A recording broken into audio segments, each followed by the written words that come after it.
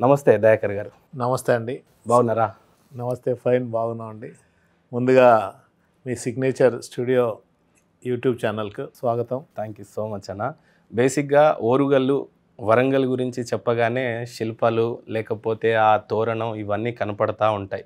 ఇది చెప్పే ముందు మీరు కూడా ఒక శిల్పిగా ఎన్నో శిలాలని చెక్కారని విన్నాం. మరీ ముఖ్యంగా చెప్పాలంటే తెలంగాణ తల్లిని. ఒకరు ఆవిష్కరిస్తే మీ గురుగారిని దాన్ని మాత్రం ఒక రూపానికి తెచ్చింది మీరే అని అని అంటారు. కొద్దిగా దాని గురించి ఇంతకుముందు మీరు మాట్లాడిన పదాలు చాలా పెద్ద పెద్దవి నేను ఒక సామాన్యుని ఒక మామూలు ఆర్టిస్ట్ను సింహంతో పోల్చిండ్లు.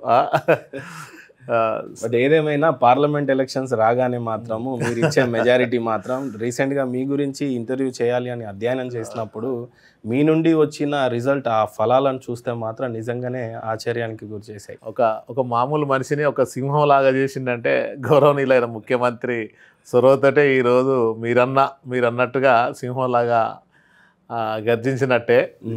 ఏది ఏమైనా మరి వాస్తవంగా బేసికల్గా నేను ఆర్టిస్ట్ను బాగా సోషల్గా ఉండేటోనే నేను. ఓకే. చిన్నప్పటి కాంచి పెయింటింగ్స్ అంటే చాలా ఇంట్రెస్ట్ ఉండే. చదువు కంటే ఎక్కువ ఇంట్రెస్ట్ పెయింటింగ్ మీదనే నేను ఉండేది. నేను టీచర్ ట్రైనింగ్ అయిపోయింది నాది. అదేవిధంగా ఫైన్ ఆర్ట్స్ జేఎన్టీలో కాలేజ్ చేసిన. కాలేజీలో ఉన్నప్పుడు జర సోషల్గా కూడా బాగా కాలేజ్ ఇష్యూస్ మీద న్యాయబద్ధంగా న్యాయంగా అంటే సాల్వ్ చేసుకునేది. అదే ప్రిన్సిపాల్ తోటో లేకుంటే వీసీ తోటో మాట్లాడి సమస్యలు ఉంటే సాల్వ్ Hmm. చేసుకునేది. కాకుంటే ఆ సమస్యలే ఈరోజు నన్ను లీడర్గా తయారు చేసినాయి అనుకోవచ్చు. ఓకే. తర్వాత మొట్టమొదటిసారి నార్మల్గా కళాకారుడు అవ్వాలి అని చెప్పేసి ఆ బీజం ఎలా పడింది? అంటే నార్మల్గా మీ చదివే చదువులకి మీరు అయిన కళాకారుడికి ఏ సంబంధం లేదు. కానీ అలా ఎలా రూపుదిద్దుకున్నారు మీరు? యాక్చువల్గా మా చిన్నాన్న అగ్రికల్చర్ ఆఫీసర్ కానీ ఆయన పెయింటింగ్స్ బాగా వేసేది చిన్నప్పుడు. నేను చిన్నగా ఉన్నప్పుడు వేసేది. మా బ్రదర్ ఉండే ఆయన కూడా కొంచెం బొమ్మలు వేసేది వేస్తే నేను వాటి మీద జర ఇంట్రెస్ట్ చూపించి ఇక నాకు ఎప్పటికీ అదే ఇంట్రెస్ట్ కుదిరింది. ఇంట్రెస్ట్ కుదిరి ఆర్ట్ మీద అట్లనే కేటా ఉండడం జరిగింది. ఆ ఆర్టే నన్ను చాలా దిక్కులా నాకు ఆర్ట్ ఉపయోగపడ్డది. తెలంగాణ తల్లి గురించి అయితే మరీ ముఖ్యంగా మీ గురించి చెప్పుకుంటా ఉంటారు. ఆ నేపథ్యం గురించి ఒకసారి చెప్పండి. యాక్చువల్గా ఈ తెలంగాణ తల్లి దాన్ని కేసీఆర్ సబ్జెక్ట్ అంతా సార్ది. ముఖ్యమంత్రి అంటే గారు మొట్టమొదటిసారి తెలంగాణ తల్లిని రూపుదిద్దాలి అని ఎవరు సంకల్పించారు? తెలుగు తల్లి అనేది పెట్టి దాన్ని తెలుగు తల్లిని విడదీస్తారా? తెలుగు తల్లిని వక్కలు చేస్తారా అనేది ఆంధ్ర వాళ్ళు అనేది కాబట్టి తెలుగు తల్లి అని ఉంటే ఒక తెలంగాణకు అన్యాయం జరుగుతుంటే తల్లి ఏది ఉంటే అన్యాయం జరుగుతుంటే ఊరుకుంటుందా? మనకు కూడా ఒక తెలంగాణ తల్లి ఆ సెంటిమెంట్ అయితే వాళ్ళు ఎట్లయితే ఏ ఉపయోగించిందో అదే బేసిక్లా ముఖ్యమంత్రి గారికి కూడా ఆలోచన వచ్చి తెలంగాణ తల్లిని మనం ఎందుకు రూపొందించుకోకూడదు? అని తెలంగాణ తల్లిని కొంతమంది కళాకారులను పిలుచుకున్నారు. కళాకారులతో పాటు నేను కూడా పోయిన సార్ దగ్గరికి పోయిన తర్వాత సబ్జెక్టు కాన్సెప్ట్ అంతా సార్దే అది. దాన్ని వేసింది గంగాధర్ సార్. దాన్ని స్టాచ్యూ చేసింది నేను. స్టాచ్యూ చేసే అవకాశం ఎంతోమంది ఆర్టిస్టులు గొప్ప గొప్ప ఆర్టిస్టులు ఉన్నా కానీ నేను పార్టీ పార్టీలో పనిచేస్తాను కాబట్టి నాకు సార్ అవకాశం కల్పించిండు. అవకాశం కల్పిస్తే నేను నేను దాదాపు ఒక రెండు వేల స్టాచ్యూస్ వరకు చేసిన. ఆ పార్టీ ఉద్యమ సమయంలో ఉద్యమాలు చేసుకుంటూ నాకు కూడా విగ్రహాలు చేసి అందరికీ అందించే ఒక కమ్యూనికేషన్ కూడా పెరిగింది. ముఖ్య ఆ ఆర్ట్ తోటే నన్ను ముఖ్యమంత్రి కూడా నన్ను గుర్తించిండు. నేను ఫస్ట్లో ముఖ్యమంత్రి గారికి కలిసినప్పుడు ఉద్యమకారుడు సార్ అప్పుడు కలిసినప్పుడు నేను ఒకటే చెప్పిన సార్కు సార్ నేను ఇట్లా ఆర్టిస్టును గోడల మీద రాతలు ఏదైనా ఏ పని చెప్పినా నేను ఫ్రీగా సర్వీస్ చేస్తాను సార్ నేను సో అండ్ సో ఇట్లా దయాకర్ ఇట్లా మాది వరంగల్ సార్ అని పరిచయం ఆయన అయిన తర్వాత ఒక వన్ మంత్ టూ మంత్ మళ్ళీ కలిసే అవకాశం దొరికింది ఆయనకు. కలిసినప్పుడు ఆయన దయాకర్ ఆ లైట్ వేసి రాలన్నాడు. అంటే అంత ఐడెంటిఫై చేసిండు. పేరుతో సహా. ఆ పేరుతో సహా. అంటే నన్ను అబ్బా సార్ ఐడెంటిఫై చేసిండు అనేది నాకు అదండి.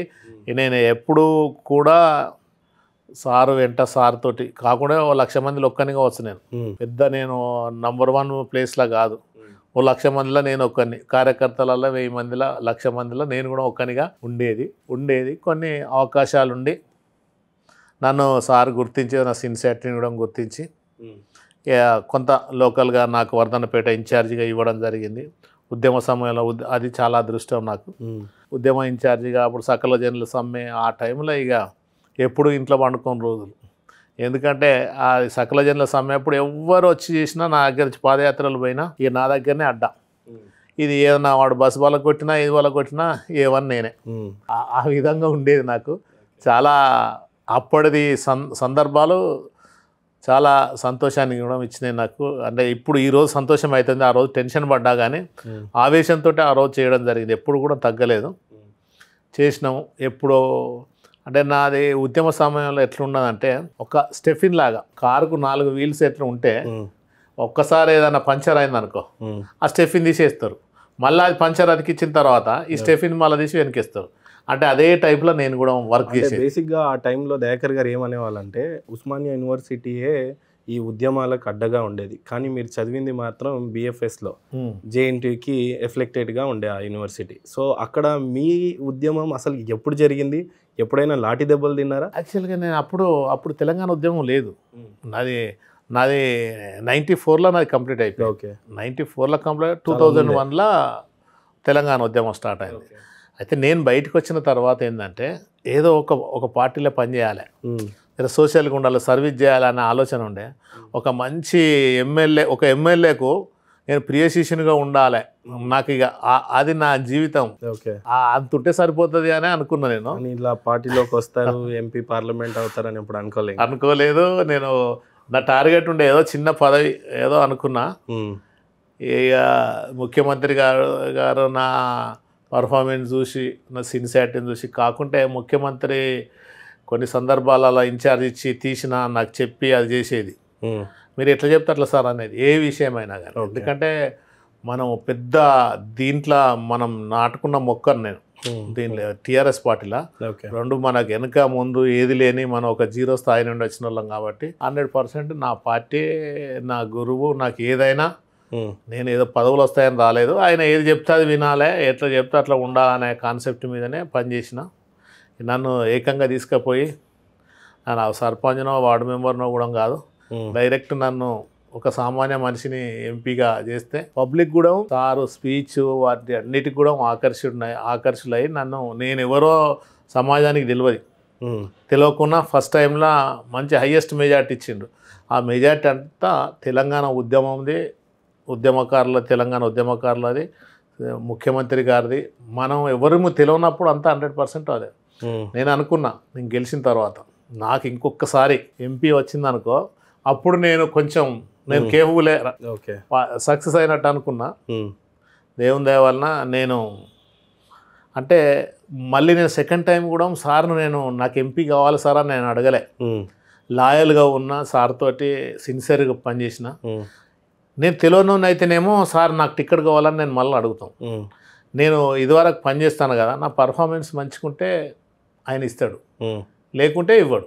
నేను ఎక్కడ అవసరమైతే అక్కడ పెట్టుకుంటాడు. అని అనుకున్నా నాకు రెండోసారి కూడా మంచి అవకాశం ఇచ్చిండు.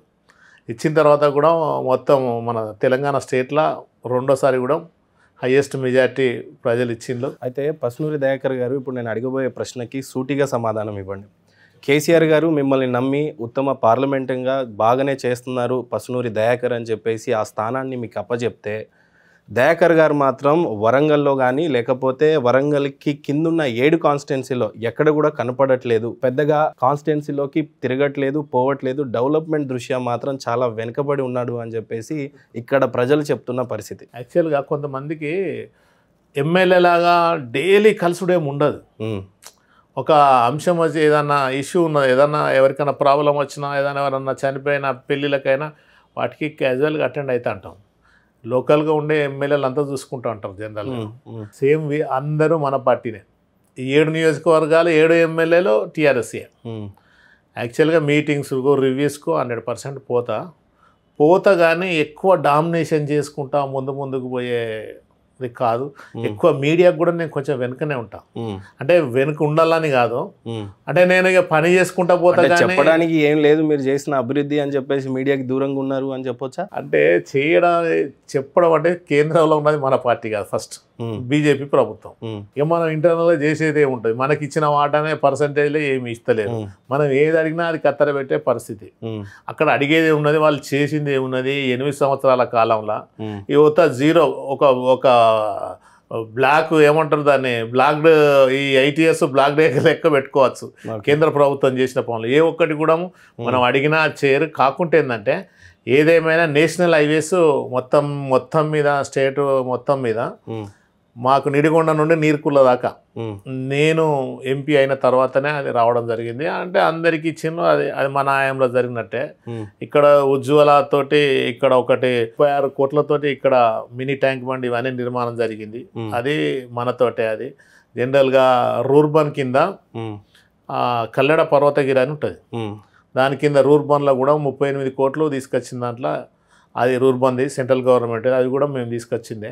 అంటే జనరల్గా కొంచెం ఎక్స్పోజ్ చేసుకొని ఇది నేను చేసిన అనే మీడియా ముందుకు వచ్చి అంటే పెద్ద ప్రచారంలా కొంచెం మనం ప్రచారంలో దాన్ని నెగ్లెక్ట్ అంటారా దాన్ని ఏమంటారో కానీ ఎక్కువ ప్రచారానికి పోలే నేను ఎప్పుడు కూడా. అంటే మరీ ముఖ్యంగా దయాకర్ గారి మీద ఉన్న ఒకే ఒక ఆరోపణ అంటే మరీ అవినీతి ఆరోపణలు అయితే మీ మీద ఏం లేవు కానీ అతిపెద్ద ఆరోపణ ఏంటంటే ఇక్కడున్న సీనియర్ నాయకులు మీ కాన్స్టిట్యున్సీలో ఉన్న ఏడుగురు ఎమ్మెల్యేలకి భయపడి దయాకర్ గారు వాళ్ళకి అడ్డు చెప్పడం ఇష్టం లేక మీకు ఎంపీ ఫండ్ కింద వచ్చే లాట్లను వాళ్ళు చెప్పే కాన్స్టిట్యున్సీలలోనే మీరు ఖర్చు పెడుతున్నారు ఎంపీ గారు సొంతంగా నిర్ణయాలు తీసుకోవట్లేదు అని అంటున్నారు. హండ్రెడ్ పర్సెంట్ నేను భయపడా ఫస్ట్.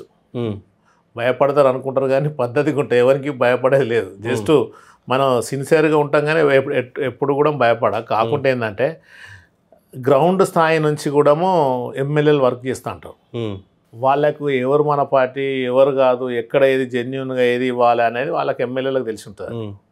కాకుంటే నేను పోయి ఎక్కడో ఇన్వాల్వ్ అయ్యి చేస్తే అది మనకు కరెక్ట్ ప్లేస్ కాకపోవచ్చు అది అనుగుణం కాకపోవచ్చు. ఎందుకంటే పిన్ టు పిన్ తెలుస్తూ ఉంటుంది ఎమ్మెల్యేలకు. వాళ్ళు టీఆర్ఎస్ పార్టీ నేను టీఆర్ఎస్ పార్టీ. పార్టీ వాళ్ళు చేస్తే మనం చేసినట్టే కదా. వాళ్ళకి ఇస్తే వాళ్ళే చేసుకుంటా అంటారు. అంటే మీరు సర్దుకొని పని చేస్తున్నారా? భయపడి పని చేస్తున్నారా? స్ట్రైట్గా చెప్పండి. మిగతా ఎమ్మెల్యేలతో. భయపడతా సర్దుకుంటా. నేను? అనుకున్నది మాత్రం సాధిస్తా. అనుకున్న భయపడతా కానీ నేను ఏది ఏది చేయాలో అది ఖచ్చితంగా చేస్తా. చేపిస్తా వాళ్ళతో భయపడ్డట్టు ఉంటా చేపిస్తా భయపడితే తప్పే ఈ విషయంలో కూడా మీ గురువు గారినే ఫాలో అవుతున్నారు కేసీఆర్ గారిని హండ్రెడ్ పర్సెంట్ గురువు అంటే అంత ఫాలో అంత గొప్పని కాదు కానీ ప్రయత్నం అయితే చేస్తా. కంపల్సరీ నాకు గురువు అంటే వంద శాతం నాకు రాజకీయ గురువు అంటే నేను ఆయనను బాగా లైక్ చేస్తాను మరి ముఖ్యంగా చెప్పాలంటే వరంగల్లో మొన్న చూస్తే మున్సిపల్ కార్పొరేషన్ ఎలక్షన్స్ చూస్తున్నట్టయితే ఎప్పుడు లేని విధంగా బీజేపీ పది స్థానాల్లో కార్పొరేట్లని సాధించుకుంది. ఇలా బీజేపీ డే బై డే వరంగల్లో బలపడతా ఉంది. దీని వెనకాల కారణం కూడా మీ వైఫల్యాలే చెప్పుకుంటా వస్తున్నారు వాళ్ళకి ఏమో ఏ రకంగా కౌంటర్ ఇస్తారు మీరు దాదాపు నా నాకు తెలిసిన నాలెడ్జ్ ప్రకారం. పది మంది ఏమో గెలిచింది మొన్న. కార్పొరేటర్లు దాంట్లో సగం మంది టీఆర్ఎస్ వాళ్ళే. రెబల్స్ ఆ, టికెట్ ఇవ్వకుంటే నిలబడ్డారు అది బీజేపీది కాదు. ఓకే. ఇప్పుడు ఈటల రాజేందర్ గెలిచిండు. అది బీజేపీదా? ఓకే. రఘునందన్ రావు గెలిచిండు బీజేపీనా. వాళ్ళ వ్యక్తిగత ఇన్ఫ్లుయెన్స్ పార్టీ మీద పార్టీలో పనిచేసింది అది ఉన్నది తప్పగానే. ఇక్కడ కూడా సేమ్ కదే. బీజేపీ అనేది ఇక్కడ బీజేపీ సున్నా పెద్దగా ఏముండదు వన్ టూ పస్లూరి పర్సెంట్ దయాకర్ గారు వరంగల్ ఎంపీగా గెలిచింది టీఆర్ఎస్ పార్టీ మీదనా లేకపోతే మీ వ్యక్తిగత స్టార్డమ్ మీద గెలిచిరా? వంద శాతం టీఆర్ఎస్ పార్టీ మీద. కాకుంటే నేను మంచి పనులు మంచి పేరు ఉన్నదో లేదో నాకు తెలియదు కానీ చెడు పేరు లేకుండానైతే తిరుగుతున్నా. ఓకే. చెడు పేరు రావద్దని చూస్తా అంట నేను. ఇక మంచి పేరు వస్తుందో రాదో నాకు తెలియదు. వరంగల్ని మరీ ముఖ్యంగా ఒకప్పుడు కేసీఆర్ గారు చేసిన వాగ్దానం ఏంటంటే వరంగల్ని ఖచ్చితంగా ఒక ఖచ్చితంగా ఒక సింగపూర్ తరహాలోనో ఒక కాలిఫోర్నియా తరహాలోనో డెవలప్మెంట్ చేసి చూపిస్తా స్మార్ట్ సిటీగా తీర్చిదిద్దుతా అని అన్నారు. వరంగల్కి ఎంపీగా మీరు ఈ విషయాలని ఏ రకంగా చూస్తారు? అండ్ ఆ వాగ్దానాలన్నీ ఏమైపోయినాయి? వాగ్దానాలన్నీ అది రన్నింగ్లోనే ఉన్నాయి వర్కింగ్లోనే ఉన్నది. వాస్తవంగా ఒకప్పుడు వరంగల్ పరిస్థితి చాలా ఘోరంగా ఉండే. ఏదైనా విలేజ్లకు ఎటైనా పోవాలని అంటే పోవాలని అంటే ఇది ఖాళీ కుండలతోటి ఎండిపోయిన వరిగడ్డితోటి ఏది ఏమంటారు దీపాలతోటి అది కరెంటు లేదని అట్లా ధర్నాలు చేసేది. ఇప్పుడు ఏం లేదు. జస్ట్ ఇల్లు ఇల్లును మా ఇల్లు కట్టుకుందామని పునాదులు తీసినా కానీ నీళ్ళు వెళ్తున్నాయి. గ్రౌండ్ వాటర్ చాలా పెరిగిపోయింది. ఇది కాదా? అంటే జనరల్గా అది డెవలప్మెంట్ కాదా. మా వరంగల్ కలెక్టరేటు ఏదో ఇట్లా పాత బిల్డింగ్ బూత్ బంగ్లా లాగా ఉండే. ఇప్పుడు మామూలుగా సెక్రటరేట్ లాగా అయిపోయింది ఇది. ఇది ఒక్కటే కాదు. వరంగల్ అది ముప్పై ముప్పై మూడిట్లో దాదాపు అన్నీ కూడా దాదాపు సగం వరకు కూడా ఓపెనింగ్ అయిపోయినాయి ఇప్పటి కలెక్టర్. చాలా అద్భుతంగా కూడా మండలాల మండలాలుగా ఉన్నాయి ఈరోజు జిల్లాలుగా ఏర్పడ్డాయి. చాలా డెవలప్మెంట్ కూడా ఉన్నాయి. ఈ హరితాహారంతో కూడా అన్ని పచ్చదనంగా అయిపోతుంది. ఎప్పుడో నేను చిన్నప్పుడు బెంగళూరు అటో ఇటో పోయినప్పుడు కొన్ని సిటీ గ్రీన్ సిటీలు కొన్ని కొన్ని దిక్కులో చూసేది. కానీ ఇప్పుడు మా వరంగల్లో వరంగల్ ఆ- అదే విధంగా హరితహారంతో సెంట్రల్ లైటింగ్ కానీ హరితహారం ఒక పెద్ద స్కాము. లక్ష చెట్లు పెడితే లక్ష చెట్లు రోడ్ల మీదకి పోతే పది చెట్లు ఇరవై చెట్లు పెరిగే పరిస్థితి. సర్పంచ్లను కూడా బెదిరిస్తుంది ఏంటంటే ఒక చెట్టు చచ్చిందో దానికి బాధ్యుడివి నువ్వే అని చెప్పి ప్రెజరైజ్లో సర్పంచ్లను కొన్ని చోట్లలో డిస్క్వాలిఫై చేస్తామని చెప్పి కేసీఆర్ కూడా అన్న పరిస్థితి. సో హరితహారం అనేది స్కామ్లకే పరిమితమైన తప్పితే కానీ చెట్లు పెరిగి పెద్దగా నీడలు ఇచ్చిన పరిస్థితి అయితే ఏం కనపడలేదు. వంద శాతం స్కామ్ అంటే ఏదైనా అంటే ఒక ముఖ్యమంత్రి ఆలోచన ఉండడు గొప్ప. దాన్ని ఇంప్లిమెంటేషన్ చేయకూ చేయకపోవడం మన తప్పు. అధికారులు తప్పు దానికి ఎంప్లాయీస్ హరితహారం చెట్లు పెరగకపోవడం అంత నిధులు పెరగకపోవడం అనేది లేదు. పెరగకపోవడం అనేది లేదు. మీరు మా కలెక్టర్ ఆఫీస్ కానీ తీసుకుపోతాను. ఇక అన్నీ మొత్తం చుట్టూ గ్రీనరీ అయింది. అంతకుముందు ఉన్న సిచ్యువేషన్ వేరు ఇప్పుడున్న కలెక్టర్ సిచ్యువేషన్ ఆఫీస్ చుట్టూ కాదు ఊర్లలోకి తీసుకుపోయి చూపించాలి. ఊర్లలో అంటే మీకు తెలుసు. మీకు తెలుసు. కేంద్ర ప్రభుత్వమే ఆదర్శ గ్రామాలుగా ఉండి దాదాపు ఇరవై ఇరవై ప్రైజులు ఇస్తే మన తెలంగాణ స్టేట్కే వచ్చినాయి. ఓకే. నీకు ఆ విషయానికి గ్రామాలలోకి వస్తే గ్రామాల పార్కులు గ్రామాలలో దాదాపు అందరు కూడా రిటర్న్ వచ్చి మన కరోనా టైం నుంచి వచ్చి మళ్ళీ సేమ్ గ్రామాలలో కూడా ఉంటాను ఎందుకంటే ఈ పచ్చదనము ఇవన్నీ కూడా చాలా విలేజ్ని కూడా చాలా డెవలప్ అయింది. ఆ విలేజ్లు ఎక్కడ దాకా కాదు మీరు దత్తతకు తీసుకున్న ఆయన వాళ్ళు ఊర్లోకే పోదాం. నిజంగానే అక్కడ ఏమైనా హరితహారం చెట్లు బాగా పెరిగినట్లు కనిపించినా లేకపోతే అక్కడ రోడ్లు బాగా ఆ సక్రమంగా కట్టినట్టు చూపించినా మల్లన్న టెంపుల్ని నిజంగానే మీరు డెవలప్మెంట్ చేసినట్టు చూపించినా నిజంగానే నేను డెవలప్మెంట్ చేసింది తక్కువనే. అంటే కేంద్ర ప్రభుత్వం. నేనంటే కేంద్ర ప్రభుత్వం. ఆ, కేంద్ర ప్రభుత్వం ఏమైనా ఆదర్శ గ్రామాలకు ఏమైనా ఎక్- ఎక్స్ట్రా ఫండ్ ఇస్తుందా కానీ మీరు దాన్ని దత్తతకు తీసుకున్నారు కదా దత్తత మీకేమైనా అలాట్మెంట్ ఇచ్చే తీసుకున్నా దత్తత నేను తీసుకున్నా కానీ స్టేట్ గవర్నమెంటే బ్రహ్మాండంగా చేసింది. మీరు అసలు ఒక్కసారి ఐలోన్ మల్లన్న దేవస్థానానికి వస్తే తెలుస్తుంది. చాలా రూపురేఖలే మారినాయి.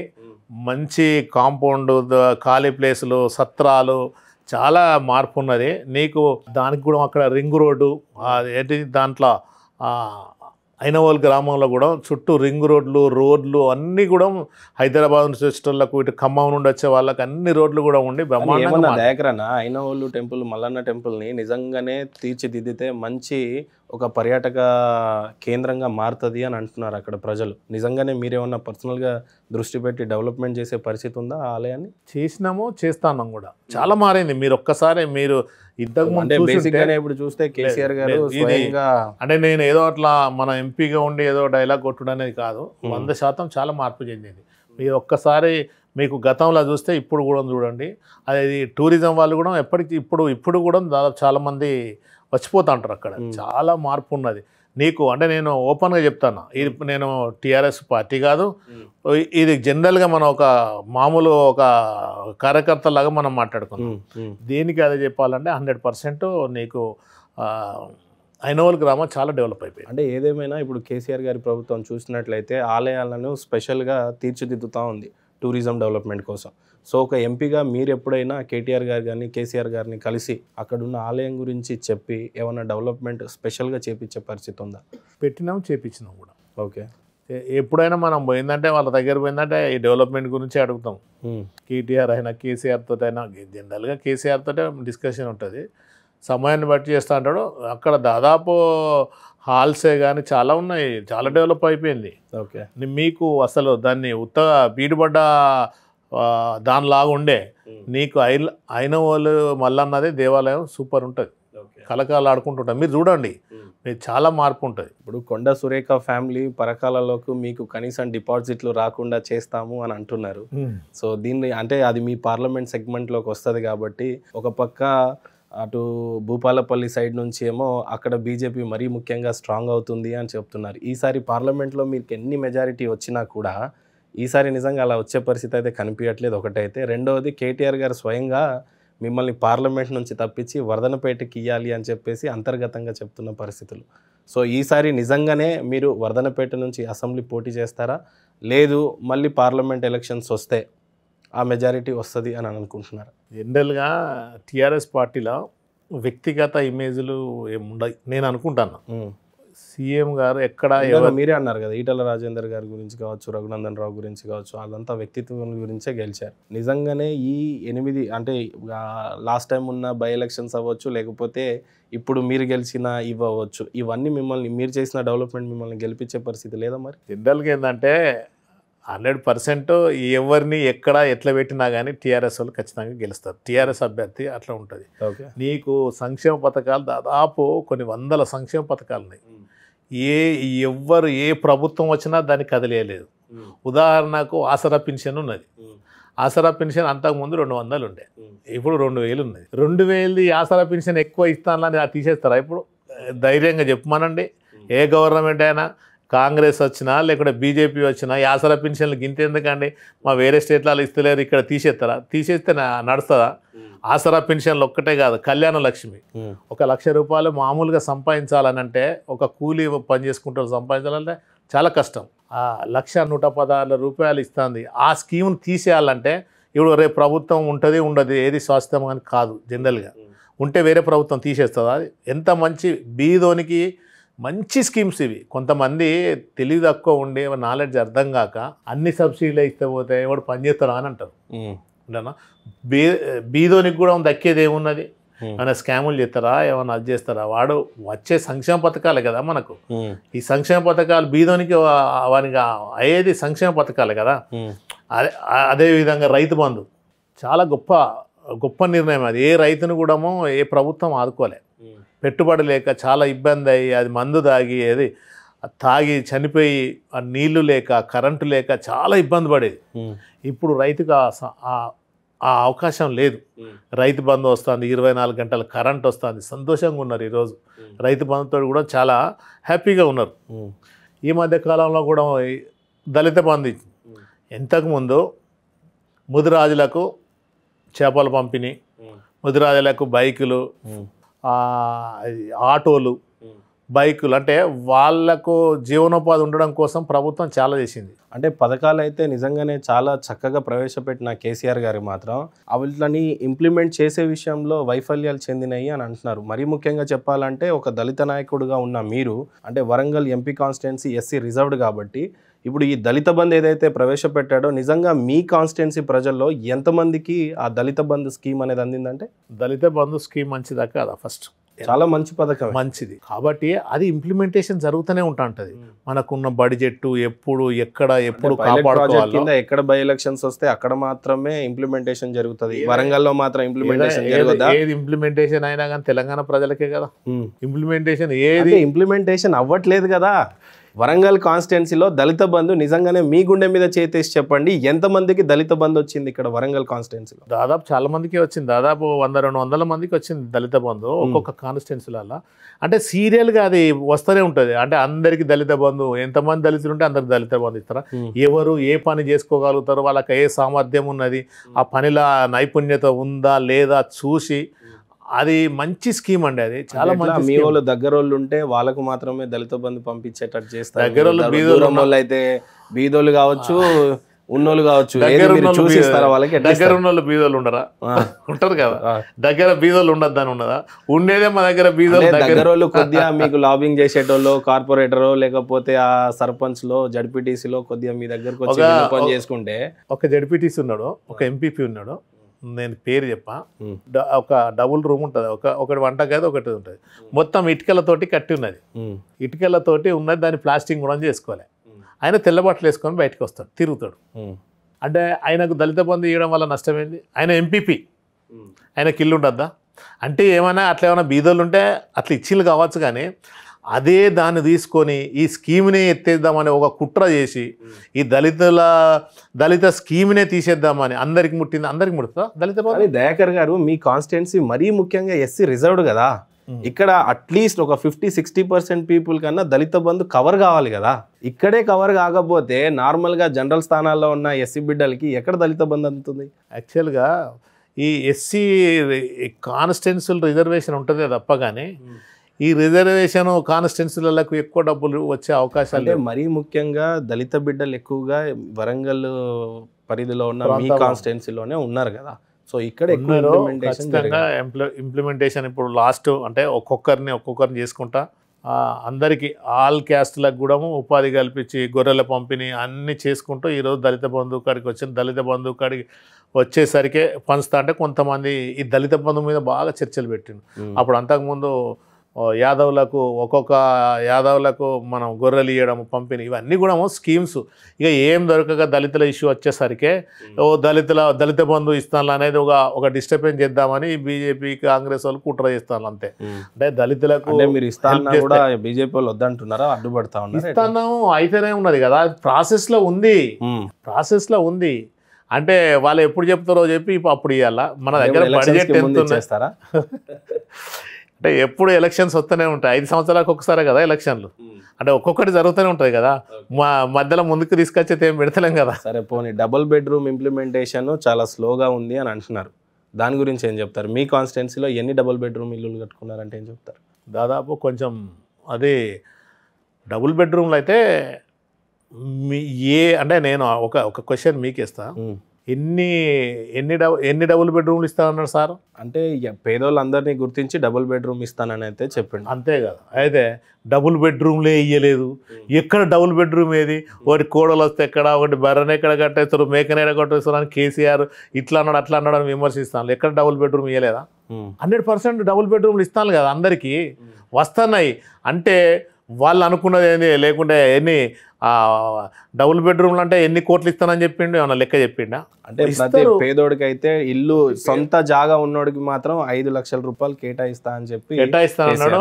చేస్తాను కాకుంటే.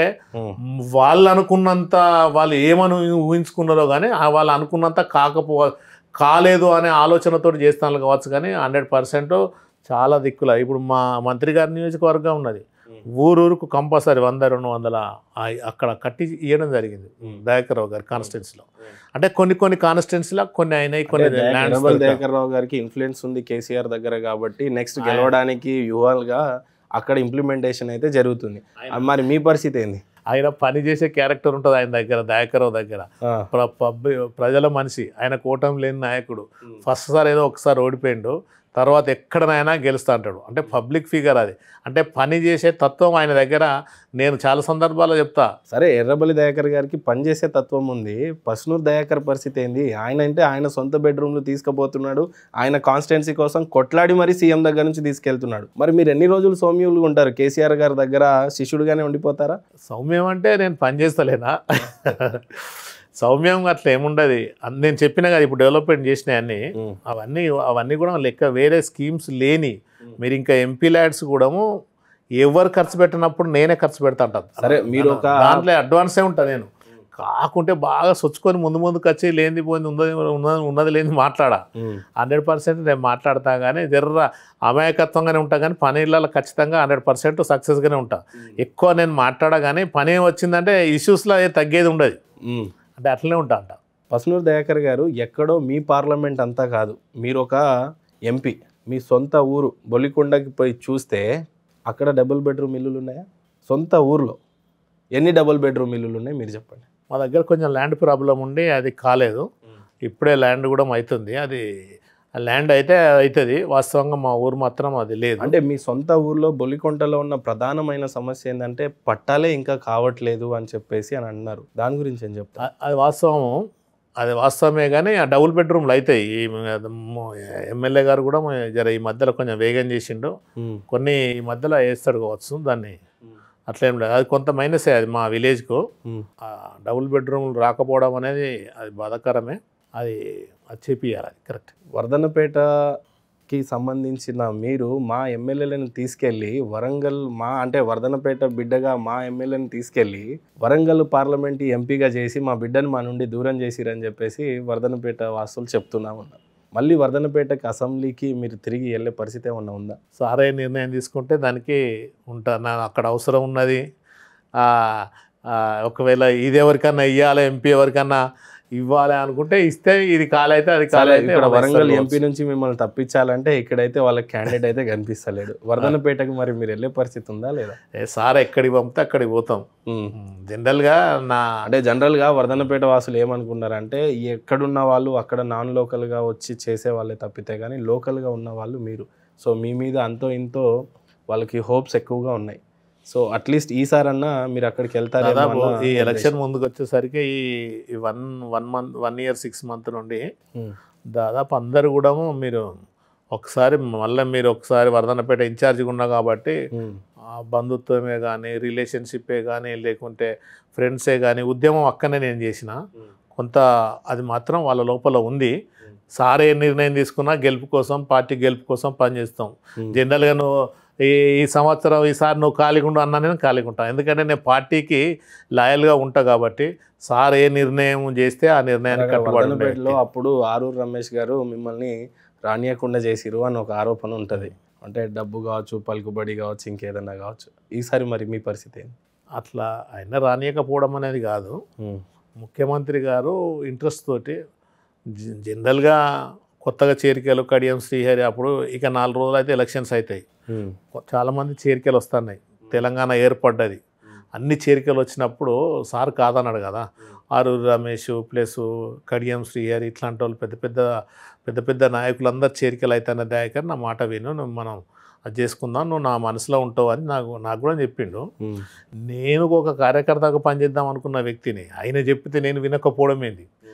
మీరు ఎట్లా చెప్తే అట్లా సార్ అని అనుకున్నాము. అట్లనే పనిచేస్తా ఇప్పటికి కూడా అట్లే పనిచేస్తా నా ప్రజెంట్ ఇప్పుడు కూడా మనది మన ఏ అవసరం ఉన్నా పార్టీ కార్యకర్త లెక్కనే పనిచేస్తా నేను. వరంగల్లో ఏమన్నా సొంత నిర్ణయాలు తీసుకోవాలి అని అంటే పసునూరి దయాకర్ గారు సంకోచంలోనే ఎక్కువగా పడిపోతున్నారు. సొంత నిర్ణయాలు తీసుకునే విషయంలో వైఫల్యాలు చెందుతున్నారు అని అంటున్నారు. ఇది లైవ్లో మాట్లాడద్దు కానీ సొంత నిర్ణయం తీసుకుంటున్న నంబర్ వన్ నేనే. నేను ఎవరి మాట వినా. ఖచ్చితంగా నేను ఏదనుకుంటే అది చేస్తా. ఉమ్, అంటే డెవలప్మెంట్లే కానీ ఏదైనా పని చేయాలన్నా ఎవరు చెప్పినా నేను వినా నా మనసులో ఉన్నది ఖచ్చితంగా చేస్తా. కాకుంటే దాన్ని నవ్వించుకుంటానో నవ్వుకుంటానో మామూలుగా కన్విన్స్ చేసో చేస్తా కానీ నేను అనుకున్నది మాత్రం నెరవేరుతుంది కంపల్సరీ. దయాకర్ గారు తల్లిదండ్రులు అంటే దైవ సమానులు అని అంటారు. అలాంటి తల్లిదండ్రుల గురించి చెప్పాలంటే మీ తల్లి తండ్రి గురించి ఏం చెప్తారు? వాస్తవంగా నాకు ఒక బాధాకరమైన విషయం ఏంటంటే నేను ఎక్కువ పెయింటింగ్ ఇట్లా చేసుకుంటుండేది. మా ఇంట్లో అందరూ ఎంప్లాయీసే మా బ్రదర్స్ ఇట్లా నేను ఒక్కనే ఎంప్లాయీని కాదు. మరి మా వాళ్ళు జాబ్ దొరకాలి జాబ్ కావాలని బాగా ఇంట్రెస్ట్ ఉండే. నాకు ఇల్లు లేదు ఇల్లు కావాలి అనేది బాగా ఇంట్రెస్ట్ ఉండే. ఆఖరికి నేను నాకు జాబ్ ఫైర్ ఆఫీసర్ జాబ్ వచ్చింది మా అమ్మ నాయన లేరు. ఇద్దరు చనిపోయారు అది నేను ఎంపీగా ఈ స్థానంలో ఉండి మా అమ్మ చూడలేదు మా నాయన చూడలేదు అనేది నాకు బాగా నాకు ఆ ఆలోచన వచ్చినప్పుడల్లా బాధ అయితే ఉంటుంది. అంటే మనం ఇంత స్థాయికి ఇంత స్థాయికి వచ్చి ముఖ్యమంత్రి గారు ఇంత స్థాయికి మనం తీసుకొచ్చిన సమయంలో అమ్మ నాన్న లేకపోవడము ఉమ్, చాలా బాధ. కొంతమంది ఎమ్మెల్యేలకు ముప్పై నలభై సంవత్సరాల నుంచి ప్రజాప్రతినిధిగా ఉన్న వాళ్ళకి అమ్మ నాన్న ఉంటారు. నేను మొదటిసారి అయినప్పుడు కూడా అమ్మ నాన్న లేరు. అదొకటి చాలా అది బాధాకరమే. గుర్తుకొచ్చినప్పుడల్లా బాధ అయితే ఉంటుంది నాకు కంపల్సరీ. అది కొంచెం బాధాకరమే. అంటే సహజంగా తల్లిదండ్రుల ఎదుగు ఎలా ఉంటుందంటే మీరు అప్పట్లో గ్రాడ్యుయేట్ చేసినప్పుడు బిడ్డ ఏమైపోతాడో ఉద్యమాల సమానంలో మరీ బేసిక్గా చెప్పాలంటే ఎవరన్నా ఉద్యోగాలు చూసుకొని వెళ్ళిపోతారు కానీ మీరు ఒక కళను నమ్ముకొని ఉండిపోయారు.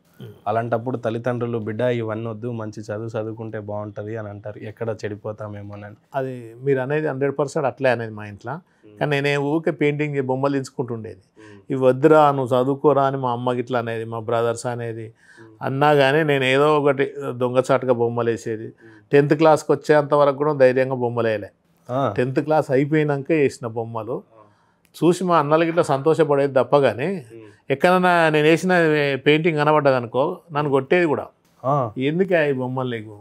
చదువుకోగా అనేది అంటే చదువుకోవాలనే ప్రేమతోటి. ఆ, అదేలే. అ- అంటే ఏదేమైనా కానీ అంటే నాకు ఆ ఆ బొమ్మలు గీయడంతో ఆ పెయింటింగ్స్ తోటే నాకు గ్యాస్ ఏజెన్సీ వచ్చింది. ఆ ఇంటర్వ్యూస్ కూడా కొంచెం వాళ్ళని ఆకర్షించిన నేను చేసిన పెయింటింగ్స్ గురించి మోడల్ గురించి దా- వాళ్ళకు కూడా కొన్ని క్వశ్చన్లు ఇస్తే దానికి ఆన్సర్ చెప్పి దాంట్లో ఒక ఆర్టిస్ట్ ఉండి అట్లా దాన్ని నాకు ముఖ్యమంత్రి దగ్గర కూడా నేను ఒక ఆర్టిస్ట్గా ఉద్యమకారునిగా ఆయన నన్ను ఐడెంటిఫై చేయగలిగిండంటే నేను ఆర్టిస్ట్ అని చెప్పుకుంటేనే ఐడెంటిఫై చేసిండు. అప్పటి నుంచి ఆయనతో కలిసి అంటే ఎక్కడనైనా కానీ నాకు ఒక ఆర్ట్ అనేది నాకు చాలా లైఫ్లో ఉపయోగపడ్డది. బేసిక్గా మనం ఏం పని చేసినా సరే ఇంట్లో అయితే కొన్నిసార్లు ఫాదర్ అన్న మెప్పు పొందుతాడు లేకపోతే తల్లి అన్న దగ్గరికి తీసుకుంటా ఉంటుంది. లేకపోతే తండ్రి కన్నా మనం నచ్చం కొన్నిసార్లు మనం చేసే పనుల వల్ల. అలా కొద్దిగా దగ్గరగా కానీ ఎక్కువగా మంచి బంధం అంటే తల్లితో ఉండేదా తండ్రితో ఉండేదా మీది? యాక్చువల్గా మా ఫాదర్ కూడా మేము అనకపోయేది. మా మా అమ్మ మాత్రం బాగా ఇంకా ఏ తల్లి అయినా అట్లే చేస్తుంది. మా తల్లి కూడా అట్లే నన్ను బాగా లైక్ చేసేది. లైక్ చేసేది. అంటే ఒక అనేది మా అమ్మ అనేది మా అమ్మ అన్ఎడ్యుకేటెడే. మా ఫాదర్ కూడా అంతే. అన్ఎడ్యుకేటెడే. రేషన్ షాప్ డీలర్ ఉండే మా ఫాదరు. మా ఇంట్లో కూడా చదువుకోరా అని అంటే మా అమ్మ అనేది. కలెక్టర్ అవుతారా నా కొడుకు నువ్వు ఎందుకు చదువుతావు అని ఎందుకు తిడుతున్నావు రా అని అనేది. కానీ కలెక్టర్ కాకపోయినా కానీ అంటే కలెక్టర్ నేను ఎట్టి పరిస్థితుల్లో కాననే సంగతి నాకు తెలుసు. అంటే అట్లా మా అమ్మ అనేది. కానీ ఇప్పుడు కలెక్టర్లు కూడా మనకు ప్రోటోకాల్ కలెక్టర్ కంటే కూడా చాలా పెద్ద ప్రోటోకాల్ మనకు వచ్చింది అంటే మా అమ్మ కోరిక నెరవేరినట్టే అని నేను అనుకుంటాను. తల్లి ఉంటే మీరన్న మాటల్లో ఎంత సంతోషపడేదో నిజంగా. అంటే దయాకర్ గారు పెయింటింగ్ చేస్తున్నప్పుడు ఇందాక నేను అమ్మ బొమ్మను చూశాను. ఆ బొమ్మ గీస్తున్నప్పుడు మీకు కలిగిన అనుభూతి ఎలాంటిది? తల్లి లేనప్పుడు గీసింది. ఎలా ఉండింది ఆ అనుభూతి? అంటే ఇక యాక్చువల్గా మా అమ్మ చనిపోయి పదిహేను సంవత్సరాలు అయిపోయింది. అంటే ఇప్పటికీ నేను అమ్మ బొమ్మను గీసుకుంటానా అంటే అమ్మ మనసులో ఉంటేనే గీస్తాం మనం. ఏది నచ్చుతారో అది ఆ పని కంపల్సరీ చేస్తారు. ఎవరైనా నచ్చిన పని చేస్తారు. అంటే కరోనా టైంలో కూడా మా అమ్మ బొమ్మ గీయాలనుకున్నా గీసినట్ల. ఏది నచ్చితే నేను అది చేస్తా. అట్లా అమ్మ వేయాలి జనరల్గా నాది కూడా ఫిఫ్టీ ఫైవ్ క్రాస్. అంటే ఈ ఏజ్ ఫ్యాక్టరీతో కూడా మనము అంటే ఫ్యూచర్ ఆలోచించుకుంటా అంటాం కావచ్చు. మా అమ్మ బొమ్మ నేను పోయిన తర్వాత కూడా ఎవరు గీయరు. అంటే ఇట్లాంటివి కూడా కొన్ని కొన్ని క్వశ్చన్లు ఉంటాయి. తర్వాత ఎవరికి. ఇయ్యరు. అట్లా. ఆర్ట్ అనేది ఆర్ట్ అనేది కూడా అందరికీ రాదు కదా. నూటికో కోటికో ఒక్కరికి.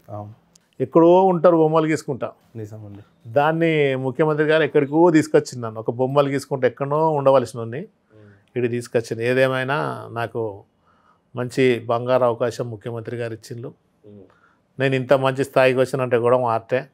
ఆర్ట్ నా సిన్సియారిటీ నా కమిట్మెంటు అని నేను అనుకుంటా. ప్రశ్నోత్ దయాకర్ గారు మీరు ఎంపీగా అవ్వకన్నా ముందు వరంగల్ పరిస్థితి ఎలా ఉండేది? మీరు వచ్చిన తర్వాత వరంగల్లో ఎలాంటి అభివృద్ధులు జరిగినాయి అని అంటే ఏం చెప్తారు? అంటే జనరల్గా అంటే నాతోటి జరిగిందని నేను అనుకోను. ఉమ్.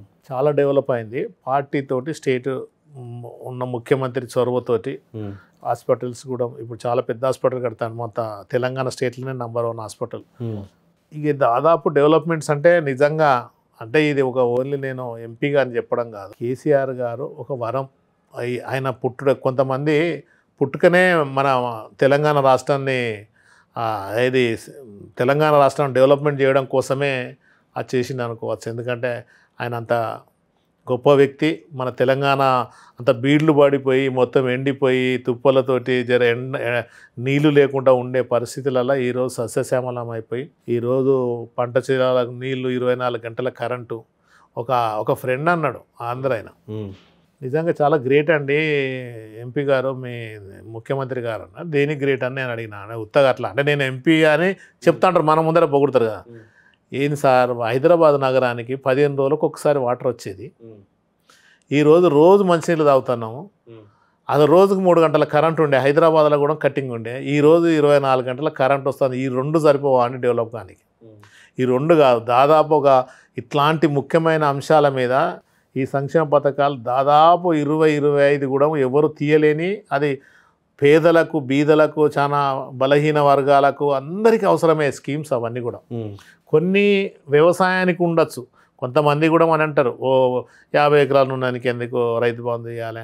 ఏంది, వాడు వాడు పండిస్తాడు కదా ఏంటిది వాడు మనకు తిండి పెట్టేది పండిస్తాడు కదా ధాన్యాన్ని పండిస్తాడు కదా. పండించడం కోసం దాని మీద వంద ఎకరాలు ఉన్నా యాభై ఎకరాలు ఉన్నా అందరికీ ఏ రైతునైనా కాపాడుకోవాలనే ఆలోచన మీద ముఖ్యమంత్రి గారు ఆ స్కీమ్ పెట్టడం జరిగింది. ఆ స్కీము ఇప్పటికి కూడా సక్సెస్ అవుతుంది. రైతులకు పంట కూడా మీకు ఎప్పుడూ తీయని పంట మన తెలంగాణ రాష్ట్రం వచ్చిన తర్వాత మన దేశానికే తిండి పెట్టే అంత ఒక తెలంగాణ రాష్ట్రంలో ఫుడ్ మనం పండియగలుగుతాను అవన్నీ కూడా గ్రేటు ముఖ్యమంత్రి గారితో నేను పనిచేసే అవకాశం అంటే అది నేను జీ- జన్మల జన్మ జన్మకు మర్చిపోంది. ఒక ఉద్యమకారుడు తెలంగాణ సాధించిన వ్యక్తి ఆయనే ముఖ్యమంత్రి అయి స్వయంగా డెవలప్మెంట్ అంటే ఏందో చూయించిన వ్యక్తి. ఇట్లా ఉన్న తెలంగాణను ఉద్యమాలు చేసి చేతులు కడుక్కున్న వాళ్ళు చాలా మంది ఉన్నారు. అయిన తర్వాత ఎటు బేస్ లేకుండా కానీ చెరువులు కుంటలు నిర్మాణం చేసుకొని నీళ్ళు తీసుకొచ్చి అన్నీ తీసుకొచ్చి తెలంగాణను ఒక సస్యశ్యామలం చేసిన దాంట్లో భాగస్వామి నేను. కూడా ఎంపీగా వాళ్ళ వెంట ఉన్నందుకు నేను నిజంగా చాలా అదృష్టంగా భావిస్తాను నెక్స్ట్ ఇంకో ఆరోపణ మీ మీద ఏముందంటే పస్నూర్ దయాకర్ గారు పార్లమెంట్ సెషన్స్లో పెద్దగా గలం వినిపించలేకపోయారు అనేది ఒక అసంతృప్తి ఉంది. దాని గురించి ఏం చెప్తారు వరంగల్ ఒక? ఒక ఐదారు సార్లు మాట్లాడడం జరిగింది. ఓసారి ఎప్పుడైనా మేము గొడవనే చేస్తాను.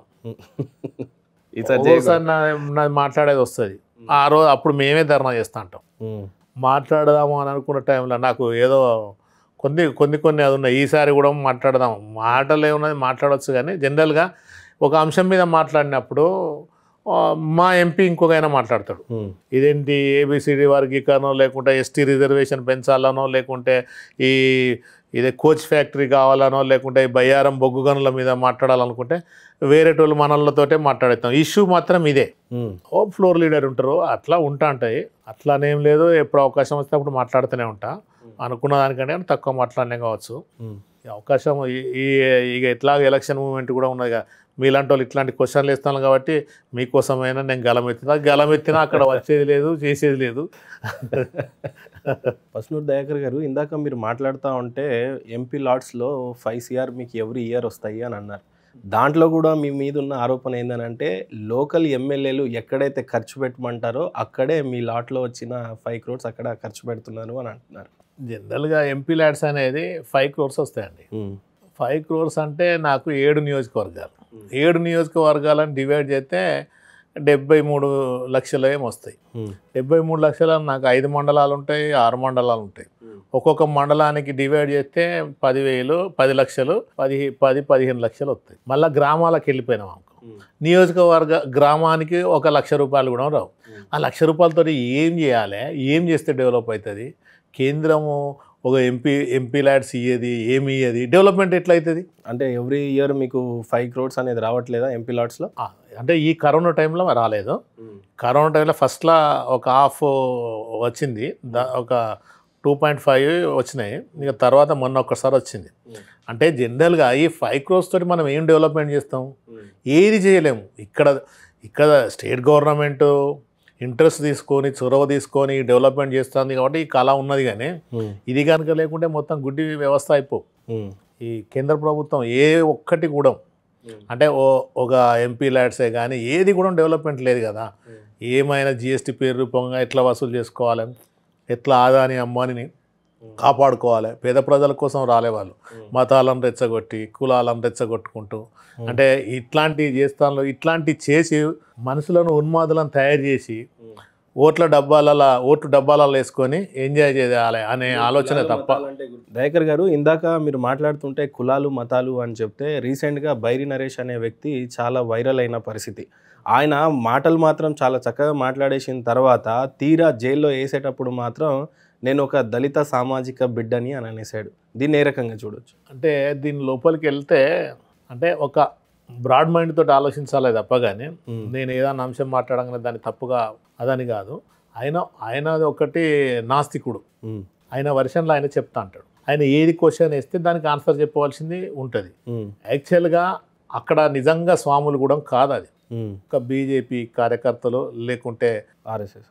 ఆర్ఎస్ఎస్ కార్యకర్తలు కావాలని ఏదో ఒకటి రెచ్చగొట్టాలని బీజేపీ ప్రభుత్వం చేసేదే అది వాళ్ళు. బీజేపీ ప్రభుత్వం రెచ్చగొట్టాలి ఓట్లు సంపాదించుకోవాలి. ఏమన్నా అంటే ఏమంటాడు? బండి సంజయ్ అంటాడు. ఏమన్నా అంటే భాగ్యలక్ష్మి టెంపుల్ అంటాడు. లేకుంటే మసీదుని కూలగొడితే శివం వెళ్తే మాది అస్థి పంజరాలు వెళ్తే మీ అంటాడు. అంటే ఒక డెవలప్మెంట్ మనం ఏం చేయాలి? ఒక కేంద్రంలా ఉన్నది బీజేపీ ప్రభుత్వం. ఎట్లా వ్యవస్థను మార్చుకోవాలి మన భారతదేశాన్ని ఎట్లా ముందుకు చెప్తున్నది ఆలోచన ఎలా. ఉంది అని అంటే బైరి నరేష్ చేస్తున్నటువంటి వాక్యాలను కూడా ఓట్ బ్యాంక్ కింద మలుచుకుంటుంది బీజేపీ అని అంటారు. అంటే బీజేపీకి చెప్పుకోవడానికి developments కరువయ్యా? Hundred percent. Hundred percent. ఆయన ఆయన కాన్సెప్ట్ ఏంటంటే నేను ఒక బీసీ సామాజిక వర్గానికి సంబంధించిన నేను ఒక పద్మశాలి సంఘానికి అదైనాను అంటే ఓన్లీ ఇట్లాంటి అంశాల మీద చాలామంది రైటర్లు చాలామంది మాట్లాడన్లు మరి వాళ్ళ మీద లేదు. వాళ్ళు వాళ్ళు ఏంది బ్రాహ్మణ సామాజిక వర్గం అయినందుక అనేది ఆయన ఆయన వాళ్ళ డిస్కషన్ అది వేరు. అంటే దాంట్లో ఈ ఆర్ఎస్ఎస్ వాళ్ళు దూగి ఇదంతా పెద్ద ఒక క్రియేటివ్ చేస్తాను. అంటే ప్రశాంతంగా ఉన్న తెలంగాణను. దీంట్లో ఇక్కడ హిందువులే కానీ క్రైస్తవులే కానీ ముస్లిమ్సే కానీ ఏ భేదం లేకుండా అసలు ఇయర్లీ ఇయర్లీ వినాయక చవితి సందర్భంగా కర్ఫ్యూలు గిర్ఫ్యూలు అయ్యేది హైదరాబాద్. తెలంగాణ ప్రభుత్వం వచ్చిన తర్వాత ఏ కానీ లా అండ్ ఆర్డర్ అయితే మీ చేతిలోనే పటిష్టంగా ఉంది కదా. మొన్న రీసెంట్గా బైరి నరేష్ గారి మీద చూసినట్లయితే దాడి జరిగినప్పుడు ఏకంగా పోలీసులు ఉన్నా కూడా సరే లోపలికి వెళ్ళి మరి దాడి చేయటం ఒకటి. వాళ్ళ మీద కేసులు పెట్టిండ్రు వాళ్ళ పని వాళ్ళు చేస్తారు ఖచ్చితంగా. అంటే ఆ సమయానికి ఉన్మాదులు అంటారు కదా. ఇప్పుడు నేను వాళ్ళని ఉన్మాదులు అట్లాంటి బీజేపీ కొంతమంది ఆర్ఎస్ఎస్ ఉన్మాదులను ఉన్మాదులు అది చేసిన దానికి ఆ టైంకి ఏంటంటే అక్కడ పోలీస్ తక్కువ ఉన్నది వీళ్ళు ఎక్కువ ఉన్నారు. అయినా ఆపేసిండ్రు అనుకో తర్వాత కేసులు కేసులు తప్పయి ఎందుకంటే అట్లా చేసేటోళ్ళని ఎవరిని కూడా సీఎం గారు వదిలిపెట్టేది ఏముండదు. మీకు తెలుసు ఎక్కడ మహిళలకైనా ఎక్కడ ఎక్కడ అదైనా ఇరవై నాలుగు గంటలలో నేరస్తుని తీసుకొచ్చి మరీ ముఖ్యంగా మీ కాన్స్టిట్యున్సీకి వచ్చి చెప్పినట్లయితే రీసెంట్గా ప్ర ప్రీతి చేసుకున్న ఆత్మహత్య విషయం. వాళ్ళని కనీసం పలకరించారా మీరు? కనీసం వెళ్ళి మాట్లాడారా? ఇప్పుడు ఆ కేసు నిజంగా ఎంతవరకు వచ్చింది? ఆ బిడ్డకి ఏమన్నా న్యాయం చేశారా ఎంపీగా?